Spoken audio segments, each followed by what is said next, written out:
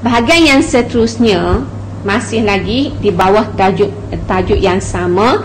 Apabila kita dah tahu proses pengoksidaan dengan proses penurunan okey proses pengoksidaan proses penurunan maka kita perlu tahu ejen pengoksidaan dengan ejen penurunan ejen penurunan adalah bahan yang mengalami proses pengoksidaan manakala ejen pengoksidaan adalah bahan yang mengalami proses penurunan. Dia ya terbalik eh bahan yang mengalami proses pengoksidaan adalah ejen penurunan manakala bahan yang mengalami proses penurunan ia merupakan ejen pengoksidaan.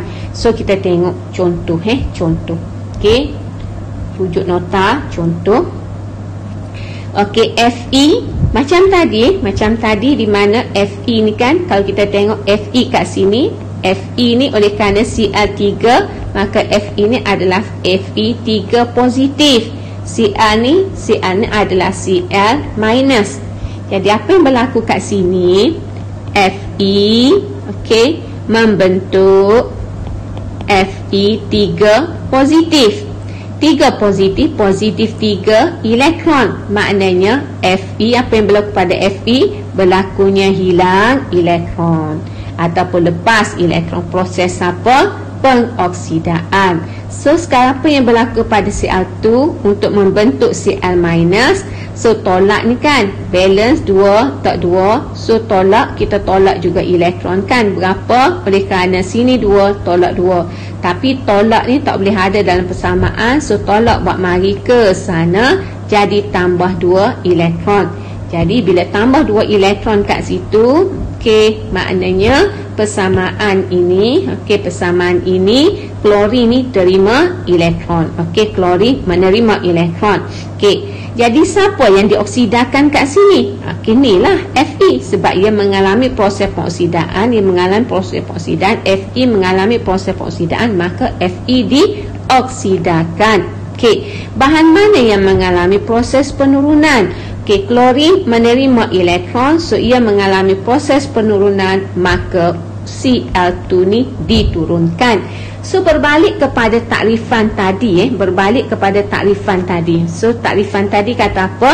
Okey, bahan yang mengalami proses pengoksidaan ia adalah ejen penurunan. Bahan yang mengalami proses penurunan ia adalah ejen pengoksidaan. Jadi di sini bila kita nak tafsirkan yang mana satu ejen pengoksidaan, yang mana diturunkan? So klorin. Bila klorin diturunkan, maka ejen pengoksidaan adalah klorin dan ejen penurunannya adalah eh, Fe. Okey. Contoh yang kedua. Okey, contoh yang kedua masih lagi berpandu kepada nota. Contoh yang kedua, AG. Cuba tengok AG. So AG kat sini AG plus. Lepas ni nak balas jadi apa? Jadi AG. Okey, AG. So kalau kita balance tak dua lah sebab dia ada dua kan. Kan cikgu kata dah kan plus, maknanya kena plus lah. So Cik buat besar sikit Apa yang berlaku kat sini 2 AG plus Lepas ni nak balas Dia jadi 2 AG okay. Makna kat sini Tambah 2 elektron Manakala CU Lepas ni nak balas Jadi apa? Jadi CU 2 positif 2 positif Positif 2 elektron Apa yang berlaku kepada AG? Apa yang berlaku kepada AG? So AG menerima elektron. So proses apa? Penurunan.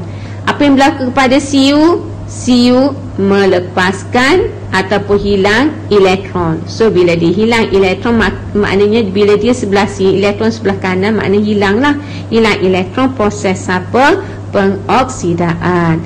Jadi bila Cu mengalami proses pengoksidaan, maka bahan yang dioksidakan kat sini adalah C, Cu. Ag menerima elektron, Ag mengalami proses penurunan, maka Ag ini bukan Ag saja, dia ada charge ni kan? So Ag plus ion Ag diturunkan. Okey, Ejen pengoksidan adalah bahan yang diturunkan. Siapa bah, uh, bahan apa yang diturunkan? Ag+. Jadi Ag+ ini adalah ejen pengoksidaan so bahan yang mengalami proses pengoksidaan adalah ejen penurunan so ejen penurunan kat sini adalah si CU Okey, pelajar-pelajar. So, sekarang cikgu nak awak jawab soalan seterusnya soalan nombor tiga. Okey, kita berhenti setakat ni. So, kita sambung lagi di kuliah dua nanti. InsyaAllah.